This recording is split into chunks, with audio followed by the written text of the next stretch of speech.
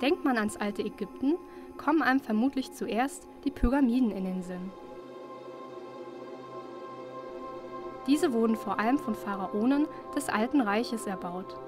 In diesen Grabmälern wurden die mumifizierten Könige bestattet, als Symbol für ewiges Leben. Die ersten Gräber waren sogenannte Mastabas, einfache Grabbauten. Pharao Snofru erbaute mehrere Mastabas übereinander und erschuf die erste Stufenpyramide. Wenige Generationen später wurde der Pyramidenbau von Cheops perfektioniert.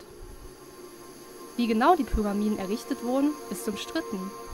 Verschiedene Rampenkonstruktionen gelten als wahrscheinlichste Erklärung, um die schweren Kalksteinblöcke nach oben zu transportieren. Oft wird behauptet, die Pyramiden seien von Sklaven erbaut worden. Heute nimmt man an, dass die Arbeiter bezahlt wurden und sogar eine Art Krankenversicherung erhielten.